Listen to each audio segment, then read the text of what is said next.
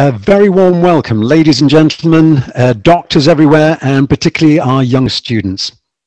Um, and this is the International Sleep Charity's Global Webinar Series, and we've got something very different and really interesting for you today. I'm Charlie Alton, one of the co-founders, and um, we've got with us, um, whilst I'm in Winchester, UK, stateside with us is uh, Mr. Pat Connolly. Now, uh, he's co founder of the world's very first um, venture capitalist specializing in the sleep industry. And he's a great guy to head it up because his um, experience is unequaled. Um, 37 years with Williams-Sonoma, and not just that, is he joined it when the company was very small and he was right at the center of things, growing Sonoma to be one of the largest, best um, respected and important brands in the US. So he's got really good first-hand experience of how you spot and more importantly, develop an opportunity. So he's going to give us an enthusiastic and well-argued case about the next big thing and how you can be involved in it. And um, at the end of his talk, there will be a question and answer session hosted by our um, Dr. PJ Wang. So if you've got any questions, please save them up until the end.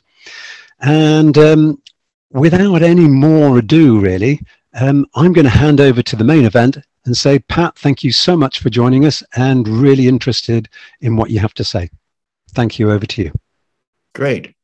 Well, thank you. Uh, thank you very much, Charlie. I'm just, um, I'm really pleased um, uh, to be here today. And uh, I want to begin by thanking the International Sleep Charity uh, for giving me this opportunity to, to, uh, to present to you. Uh, I'm, uh, I'm, I'm, looking forward to it. I, you know, I know that many of you who are um, listening in on this global webinar series today are already interested in sleep, but I also know that there's many of you who are students, and hopefully uh, my thoughts will, will resonate with you as well.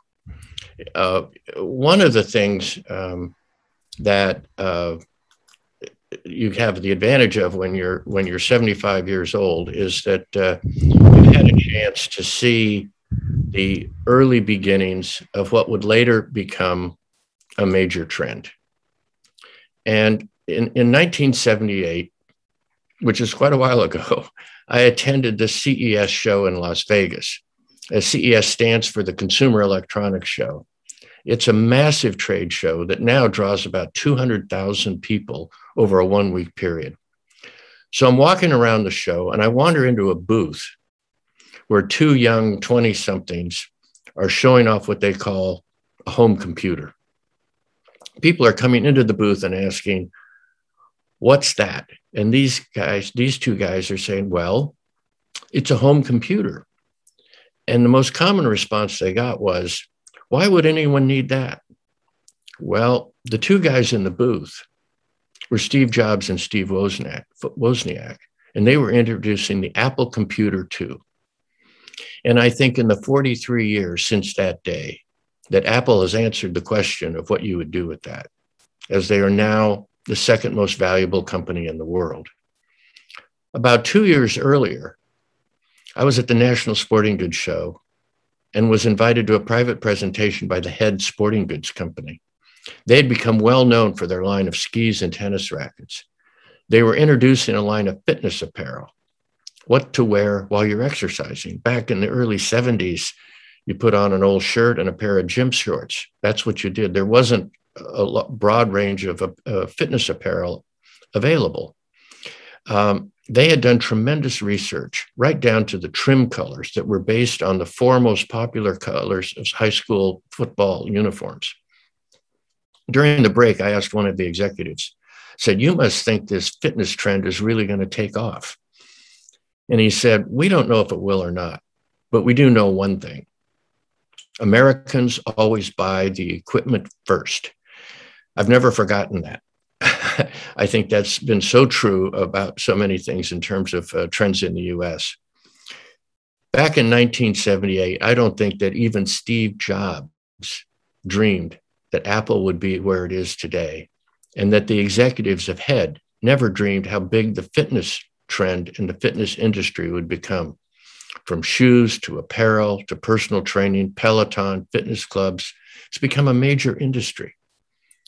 So, what is the next big thing? I just mentioned what the trends I just mentioned weren't so obvious at first.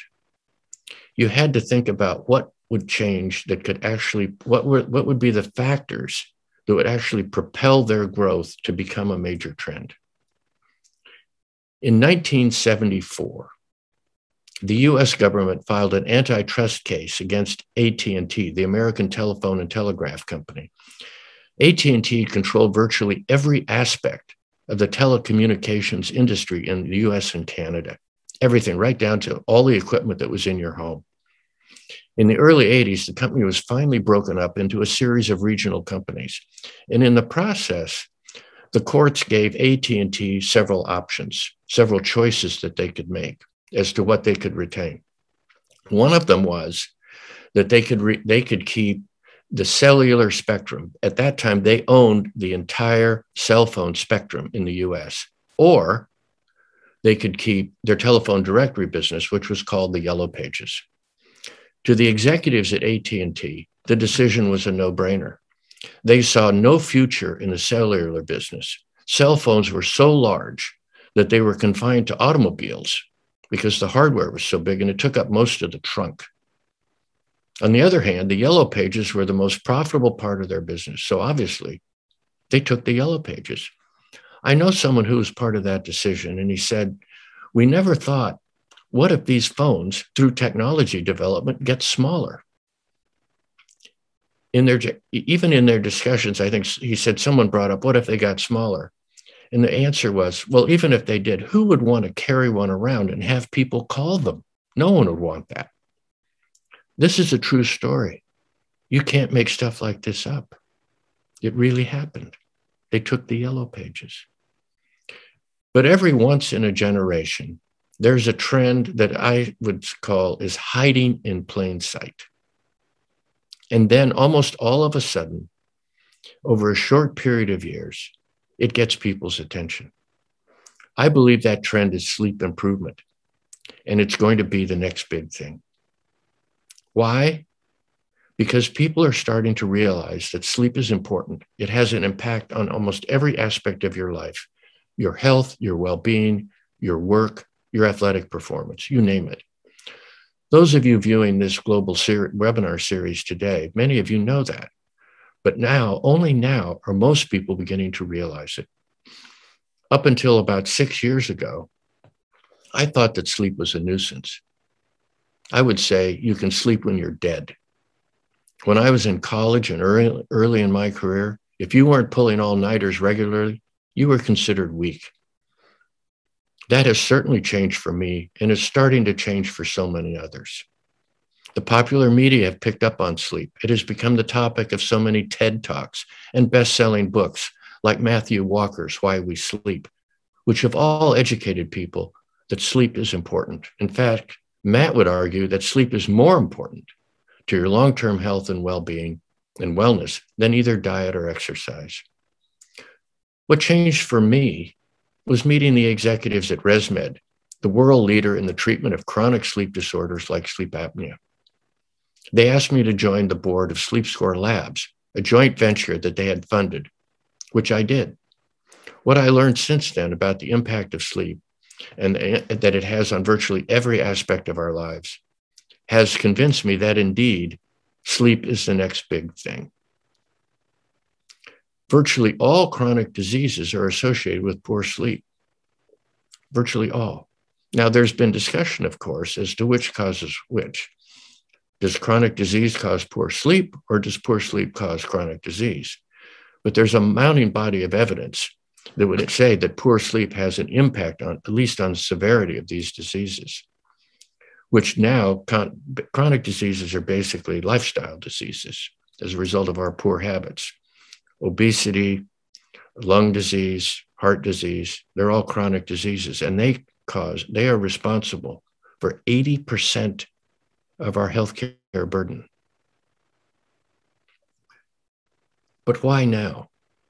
Why is the sleep opportunity now? In other words, what are the factors that will propel it to become a major trend, like in fitness or nutrition or the personal computer industry? In the case of sleep, there are so many factors that have sort of come together in a very short period of time to create this opportunity. First of all, sleep science is a young but quickly emerging field. Public awareness of the importance of sleep is rising quickly. Google shopping searches for sleep improvement products are now significantly greater than the same searches for fitness and nutrition products. Technology advancements in biometric sensing are enabling greater insights into sleep. The pandemic has only heightened the importance of sleep. COVID related COVID has created increased prevalence of mental health issues, anxiety, and insomnia. And wearables have expand, exploded into the market, and many of them have sleep tracking apps of varying accuracy embedded in them. Wearables have made it easy for us to track various aspects of our health and sleep and take more control over it. Each new release of the Apple Watch, for example, has more features to measure our health. The most recent, I think it's Apple 6, Apple Watch 6, has the ability to measure oxygen saturation, for example. This is important what Apple is doing because Apple is now the number one watch brand in the world, surpassing what was previously number one, Rolex. Almost every major professional team has a sleep advisor or sleep coach. Athletes have come to recognize that their performance can be significantly impacted by the quality of their sleep. And the sports media have picked up on this and I'm talking about it, which has encouraged amateur athletes to become more focused on their sleep. And I believe that if the world's population achieved a level of healthy sleep, it would have the greatest impact on our health and well being and dramatically reduce the ever growing healthcare cost burden that we're currently experiencing. This presents an incredible opportunity for those who pursue a career in a sleep related field. It also presents an incredible opportunity for investing in which is what we have pursued. As a result, I believe it so strongly that I've founded a venture fund, the first in the world that is focused exclusively on investing in companies whose products and services improve sleep. I was able to recruit two outstanding individuals to join me, and we've launched Supermoon Capital. We call this opportunity the night market, a term we've actually trademarked. So, as the night market presents an incredible opportunity in investments, so it presents great career opportunities. Here's why. One of the key questions in any startup is what is the total addressable market, what is called the TAM. How many people actually need or want your product or service? The bigger the TAM, well, the bigger the opportunity. So let's look at sleep. Well, there's 7.7 billion people in the world. They all sleep. And about 45% of them wake up every morning not having slept well the night before. That's a big number. 20% of the US population suffers from insomnia, and there's almost a billion people worldwide that have some degree of sleep apnea, with 85% of that undiagnosed. But there are a lot of people who didn't sleep well who don't even know it. They think that's normal. So the number's probably bigger. I look at it another way. Ask anyone if they w- wish they would they slept better. Who doesn't? I believe even that those who are not sleeping poorly will want to sleep even better. This will happen as the popular population realizes that good sleep improves their appearance, their performance at work, helps them lose weight, and improve their fitness. So basically, the market is everyone. Why is this? Why is everyone sleeping poorly? How did this happen? Well, I think my partner Grayson put it best. Almost all investment to date has been to extend and enhance our day. From the electric light bulb to the blue light that's emitted from our televisions, our personal computers and phones, which have created an almost always on society, the emergence of social media. But this extension of our day has come at the expense of our night. We, with our investments, and you, with your careers, can help, help have the opportunity to turn this around. Those of you who are studying the science of sleep or related fields that impact sleep are in the right place at the right time. The average person is beginning to realize the negative effects of sleep deprivation.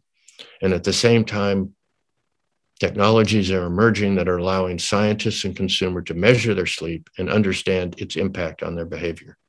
You couldn't be at a better place at a better time. I think that the sleep improvement economy, which is just beginning, has interesting parallels to the early stages of the fitness and nutrition trends. There was a lot of what we would call snake oil in the early stages of the fitness trend.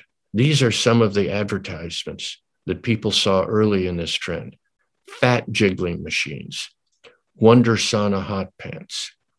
Even a shoe company, as little as 50, as late as 15 years ago, advertised a shoe that they said if you bought it, you would lose weight. Now the government made them made all of these claims be taken down. I mean, they and the same sort of thing occurred in, in nutrition. The nutrition craze.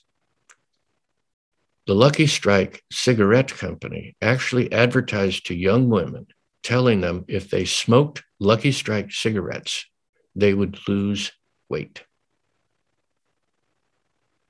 The Baby Ruth Candy Bar Company claimed that the nutritional value of a Baby Ruth candy bar was equal to that of an apple. So there was a lot of, of snake oil in these.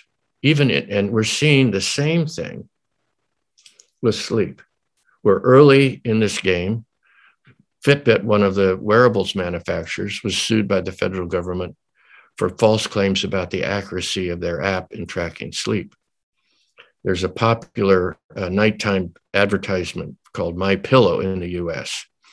And the, it claimed that you're just buying the pillow would dramatic. There were lots of claims that it made about related to sleep, which were proven untrue, and they were stopped. There's so there's a lot that's the same that we saw in fitness and nutrition that we're now seeing in sleep.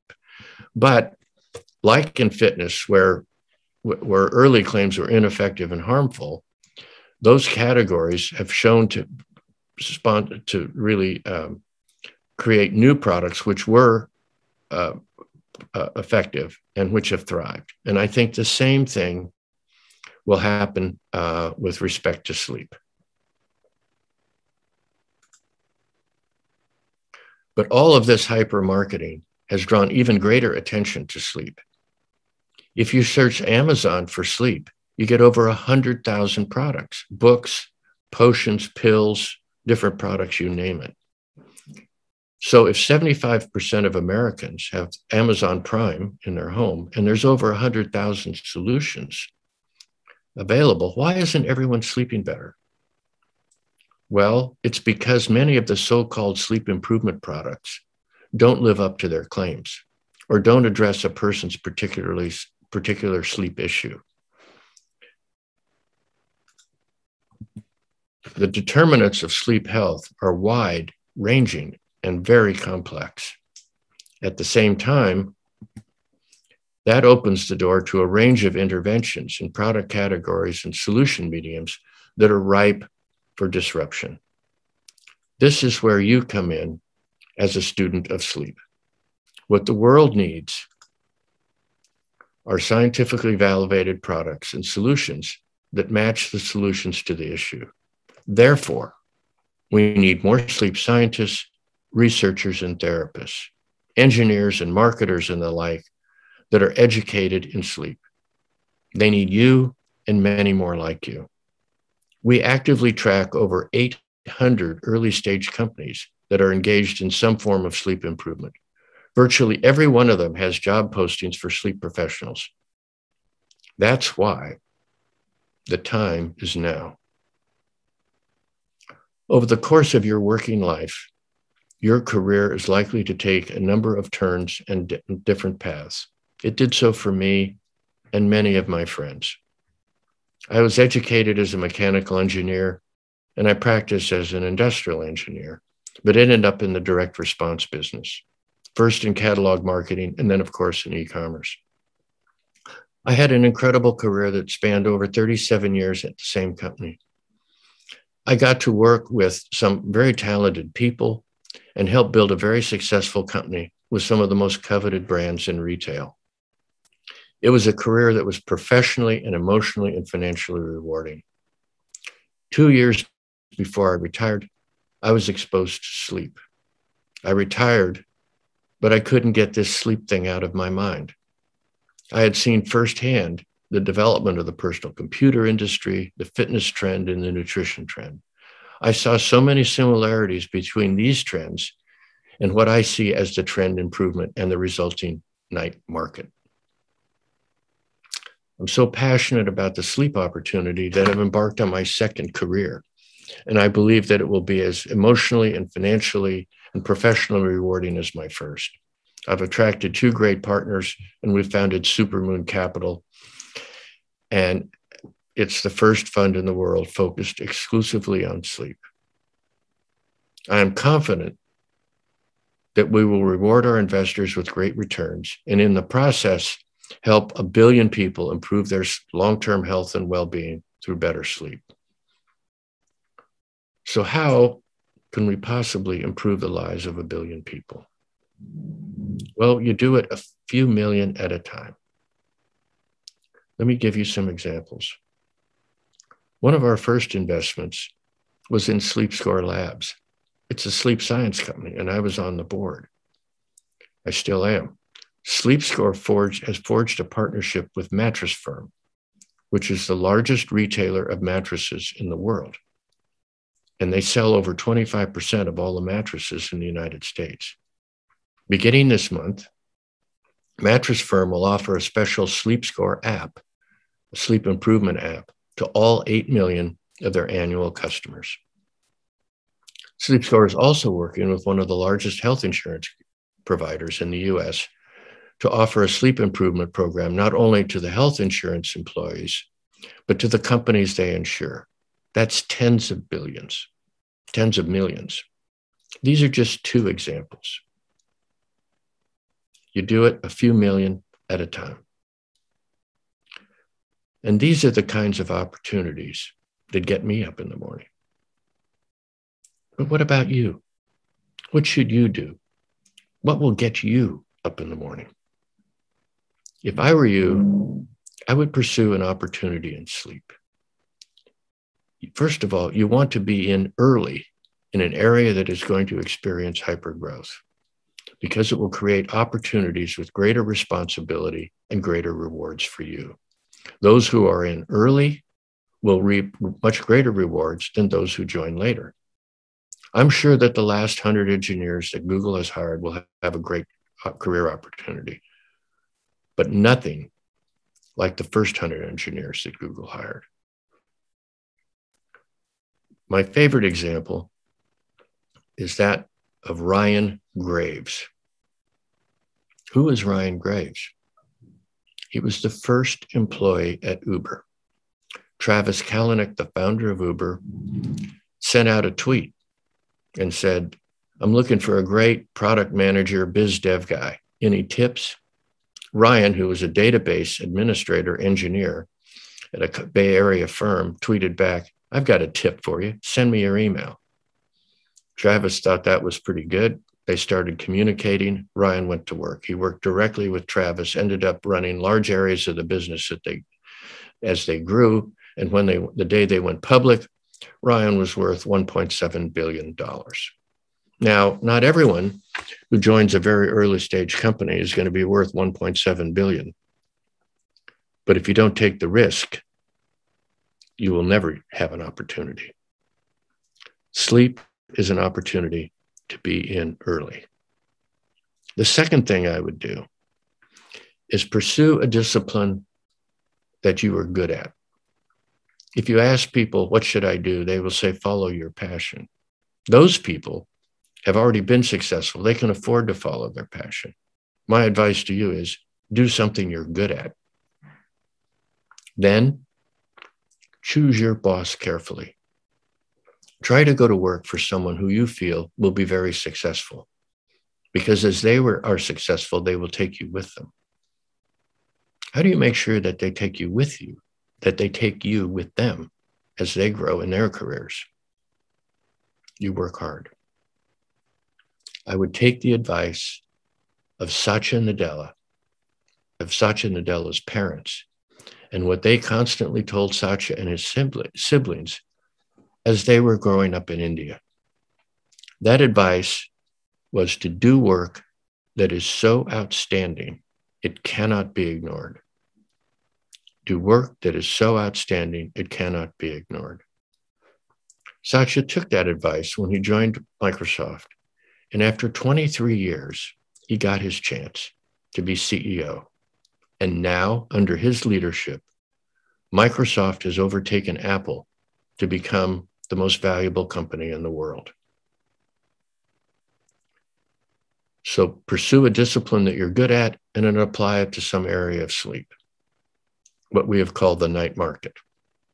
Find a person who is a great person to work for and do work that is so outstanding it cannot be ignored. And if you do, you will achieve a level of professional and financial success that sitting here today, you can't even imagine. The night market is the opportunity of a lifetime. Get involved in it. Thank you very much for allowing me to share some thoughts with you. I think we have some time for questions. And so if you have questions, I'd be very pleased to answer them. Thank you very much. Thank you ever so much for a fascinating, deep hearted uh, conversation on the, history of sleep and the opportunities that we can take to the night market. It was certainly enlightening. Now, we can take a few questions if people would like to, to send a few questions. Uh, we have uh, a few other questions, at least from my end, that I'd be quite interested to, to know. So, from from uh, my end, I have a bit of a clinical background. I have a bit of a, research background, but less so in the VC, less so in the commercial space. And I'm wondering, what advice would you give for individuals at three particular stages to get the interest of Supermoon Capital and, and people like yourself? Say, people who have an idea, people who have a product, and people who have a company. At those particular stages, what advice would you give them? I think, um, well, I think there's, I think there's two questions there. Is one, how do you get more involved, mm. right? That one Absolutely. of them, Absolutely. and then how do you how do you put them forward? And I think we at Supermoon Capital actually uh, have uh, the same desires, and that is to attract the attention of researchers like yourself. Mm. Uh, we're developing a network of experts around the world in various categories who we can correspond with and who can correspond with each other. We're in the early stages of that. We have a sleep science collective right now mm-hmm. with of the world's leading sleep scientists. We, ex- we want to expand that to, into a much greater network and reach out to people around the world in, in fields like yourself and what you're doing at the, at the academic and research uh, to, to join us in that effort. And in a way, also for you to be able to uh, have dialogues with others around the world who have the same interests. So that's the first thing. and then that what we hope to do is to be able to uh, provide opportunities for people like yourself to serve as advisors and experts to some of our portfolio companies where there is a correlation between your interests and background and the needs of that particular company. And that provides an opportunity uh, for you to not only have greater professional growth, but usually those opportunities come with an equity interest in the in the in the startup, and uh, that's a great way for you to participate in this economy in a very in the night market in a very beneficial, not only professionally satisfying way, but also um, uh, uh, also in a, in a, as financial returns. And, mm-hmm. and I think it's very important because what the world needs is validated solutions. And as you know, it's a very sleep is very complex, and so mm. your your knowledge and your expertise can help a company you're associated with to validate the specific areas where their product can help people, and that's what's going to advance the whole night market. Certainly. Okay, that's very enlightening. Yeah, enlightening route, and certainly uh, your your talk has been um, eye opening in terms of the opportunities that we can take, and especially for our younger researchers and our younger uh, students, if they have an interest in sleep, how they can pursue that. Uh, we do have some questions on our Q and A. Um, we have a particular question about what opportunities does the night market offer to people outside the United States, uh, specifically Asia, and I would presume China, the big market, the, the burgeoning uh, middle class there. Well, I think I think they're enormous. Um, we have uh, in our first six investments, uh, one is based in Amsterdam, one in Berlin, one in Tel Aviv, uh, one in Southern California, and one in Madison, Wisconsin. Uh, so we are um, we are looking at opportunities around the world. Um, uh, poor sleep is not uh, confined just to just to the Europe and the and, and the EU and, and and the UK and the United States. It's everywhere. Uh, I think especially in in Asian countries um, that there's who actually had night markets. Uh, uh, I think there's a, a, really a big opportunity there. We have mm-hmm. not uh, to date invested in a company in in Asia, but we certainly intend to. Mm. And so I think the opportunities there are going to be very significant. And I would encourage people who have ideas to reach out to us. Okay. We so, want to see all the ideas. And mm. sometimes they may be at a little more advanced stage. We tend to like to be in early. And one of the things that we do in our fund, which uh, our, our portfolio companies very much appreciate, is we like to add what we call post investment value creation we like to help them in ways introductions to particular to potential customers uh, knowledge of uh, regulatory affairs whatever so we have experts that can help companies uh, leverage their unique uh, competence in in a faster in a commercial way certainly oh, thank you very much pat and i think that answers a um, our idea for our indian and chinese viewers that reach out to supermoon and they will be able to help. Reach out to us. You out. right. And a, another question. Thank you very much from Mabel. Um, what are some particular sleep disorders that need more attention and innovation than others? Is there anything that really perks the mind as something to particularly target? Well, I think you know there are the um, the, the, certainly sleep apnea is one that has gotten mm. a lot of attention. There's a lot of focus on sleep apnea because mm. um, people are. It, first of all, it's, it's, debilitating if you don't treat it, and um, and the and and diagnosis is difficult. Um, the, the use of uh, sleep labs is it's very hard, at least in the United States. It takes a long time to get an appointment. It's not a very pleasant experience. There's a lot of investment has gone into home sleep tests, mm-hmm. for example. So that's an example. Um, there's focus on on insomnia. I think that's a big opportunity. Uh, I think 20% of the U.S. population has some form of it, and there, uh, I think that you know the uh, the, the ideal solution hasn't been hasn't really been developed yet. There's a, a practice called cognitive behavioral therapy for insomnia, CBTI, but it's it's really hard for people to follow it. Um, and so how how do you uh, can you can you develop a program where you can intervene to keep people on it? Uh, it works, but people tend to drop off because they uh, it's difficult to stay with the program. So there's an opportunity, I think, for the person who the company that comes up with a with a process that mm. the right interventions to motivate people to keep on it that can be uh, that could be very helpful so those are two um, there are i think like 130 different sleep disorders uh, from restless leg syndrome to insomnia to narcolepsy there's there's an awful lot uh, out there and uh, each of them has a very big market potential. Absolutely, absolutely. back here on that, Pat. Um, from my side, I will say that uh, from the research and the clinical side, it's not just the commercial side where sleep is becoming very much a big deal and, and put towards the fore. That people are realizing that sleep is a fundamental process of our mind, that it's critical to our development. Sleep, um, as one of our professors would say, is the price of neuroplasticity.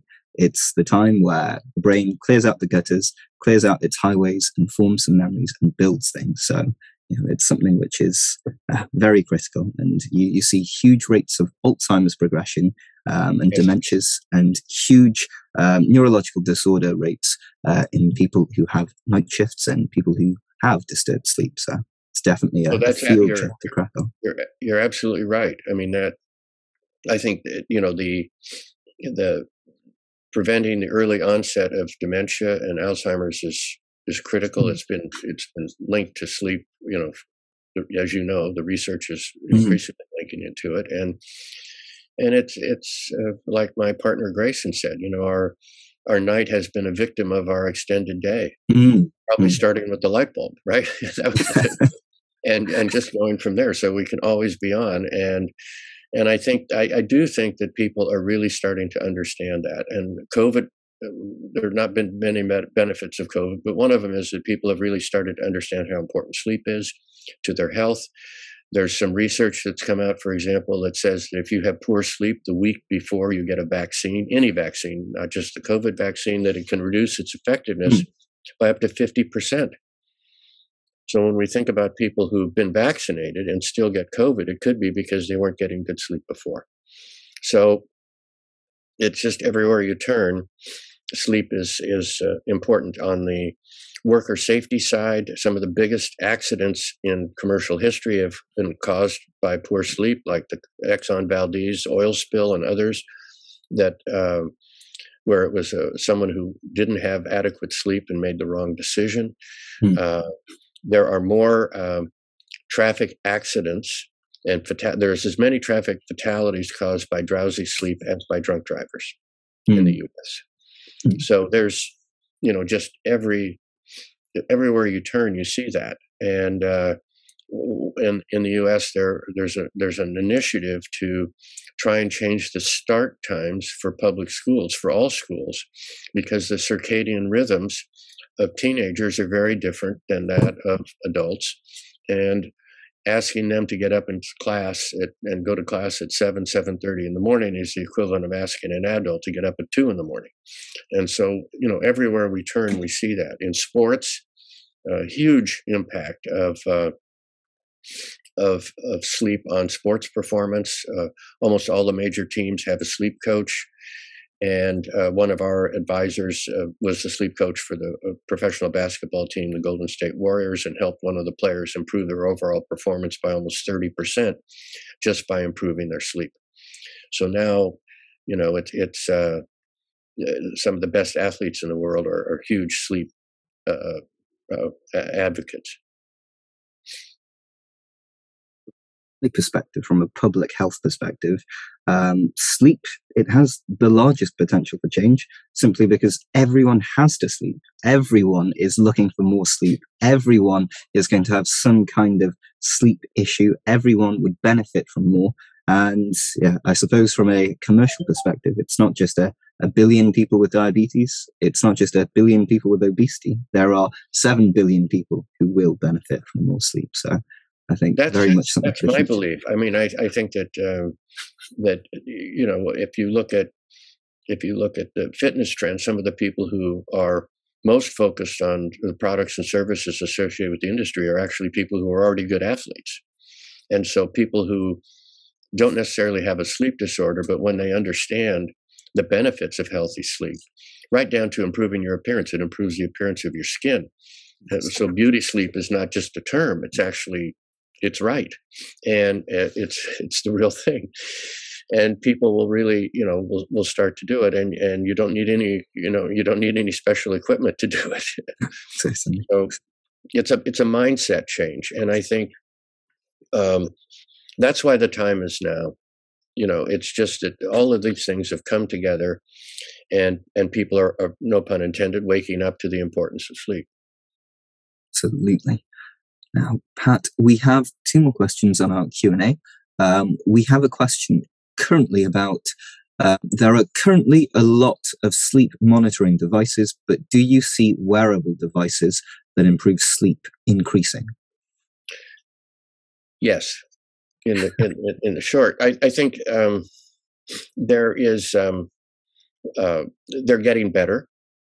Uh, the, the the the issue uh, almost there's almost all the wearables have some sleep function uh, from the Apple Watch up to Whoop and and Oura. Um, one of our portfolio companies, SleepScore Labs, actually has probably the most accurate uh, sleep monitoring device. It's the one I use. It's incredible. The hard the hard thing in in in measuring sleep stages accurately is what they call wake sensitivity. The the wearables tend to because you're asleep 85% of the time you're in bed, if the algorithm has a question of whether you're awake or you're asleep, they tend to err on the side of saying you're asleep when you're actually you're not. And so they tend to under under uh, report uh, wake how much time you're awake, but they're getting better. And uh, you know the Apple Watch continues to add more features, and, and so do the others. Um, Whoop, which is a, a wearable, was now uh, used by uh, the PGA Professional Golf Association, and it was able to uh, predict uh, the onset of uh, COVID by looking at uh, certain behaviors and data. So, I, I think wearables are are are going to continue to be um, obviously more have more health features, more health reporting features, and and I think they're going to be. Um, we will see people becoming more really more uh, understanding of the fact that they have to monitor their own health. Not everybody's going to do it, but a lot of people are. One of our portfolio companies called Clair Labs in Tel Aviv, Israel, has developed a non contact biometric measurement through computer vision. And uh, you can imagine five, ten years from now, instead of having an alarm system in your house that's monitoring the activities of your house, to have a home health hub where just uh, through computer vision it can report your your your state of health. That's where we're going to be. You're going to have a home health hub, and it will uh, transmit information in the cloud of a, on an exception basis to your doctor who calls you and says, "PJ, I think you know." I'm worried about your blood pressure. I'm worried about your oxygen saturation level. You know, that's that's going to be very helpful to people. So that's where it's going. Technology is really going to advance on a proactive basis our ability to early diagnose diseases and early diagnose sleep disorders and prevent them from becoming uh, major health issues. Certainly. Uh, I will say from my experience that um, people don't realize quite the sensitivity of the products that we have now. That uh, even with camera phones, they have some kind of ability to pick up atrial fibrillation, and the the Apple Watch that ability to to pick up these arrhythmias in the heart. That was more yes. an ethical decision uh, for Apple to give a medical diagnosis rather than any sort of technical um, drawback. It was more a medical legal decision on their part that were they confident enough to get the 99.99% um, accuracy for that. So there is a lot of potential. Yes, and I think Apple, you know, obviously they have to go about it the right way, and they, but I think they will.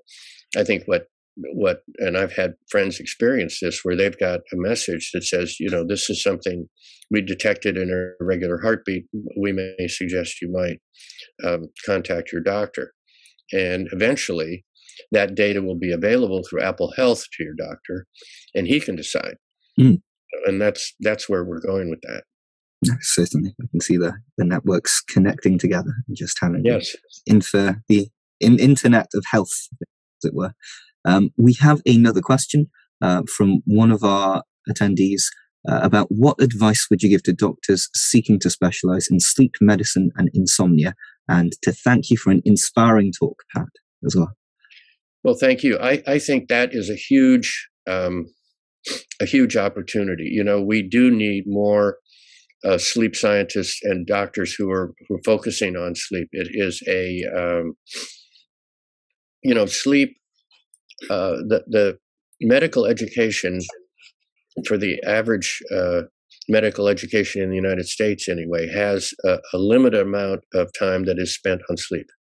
And it's a little bit political because if that has goes in, something else has to come out, and no one wants to let out what they're already what they've lobbied so hard to get into the curriculum.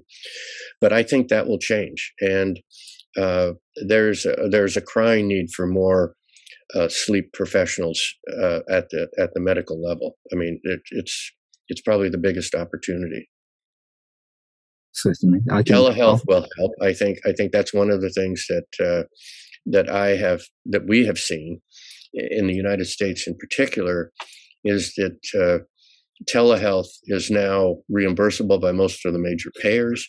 It's accepted in almost every state, and it's um, I think it's it's a it's a medium where sleep professionals can leverage their expertise uh, to to deal with patients and people with sleep disorders. Um, in, in, there, there's a lot of uh, I think there's a real opportunity to do that, and that can that can help expand the field very quickly.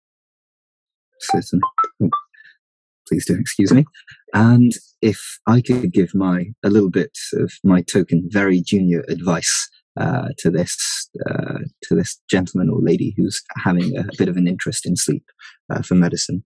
Um, from my perspective, um, the the best way to to go about approaching sleep is to to keep an open mind and to realize that there are many pathways. My initial pathway was more a respiratory sciences path, dealing with apnea, dealing with obstructive sleep apnea, um, up until I realized I had an interest in sleep, and then I looked for various research groups, looked for various uh, people uh, or re- researchers or professors around my uh, institution who had an interest and basically sending a lot of cold emails, a very lot of sweet emails and trying to pop up to, to see people in, in, in person. And there is a lot of um, a lot of opportunity to to move forward regardless of whatever career path I'm a psychiatrist and I'm taking more the neurological route um, these days rather than the respiratory route, but um, there are many roads to Rome, as it were, and you just need to be adaptable.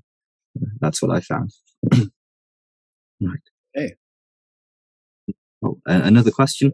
Um, yes, today's video will certainly be posted online. Uh, we'll be uploading it to YouTube and we will have a link uh, which we will send through some of the uh, social media uh, through LinkedIn and through some of our email chains as well. Right. Right. Just wondering, any anything else? Any any other pressing, burning questions in sleep that our audience has? And if there isn't anything else um, at all, then I would just like to thank Pat ever so much for sharing some of his uh, invaluable wisdom in the world of sleep um, in the world of VC, in the world of his innumerable experiences and his his wisdom that he's shared with us. And I'd ask that you share his, his wisdom far and wide and take some of the principles that yeah, it, it's best to be on the ground floor. And yeah, we we have the potential to be there. So I, I will certainly be taking that to heart. well, thank you very much for the opportunity. And I would encourage everybody who was uh, able to listen to share it with your friends certainly. And we would encourage you to share it far and wide. So yes. thank you ever so much, and we'd be delighted to have you back in the future. And uh, wishing you the best. Happy Thanksgiving next week as well. Yes, thank you very much. Okay. All right. bye bye. Bye bye.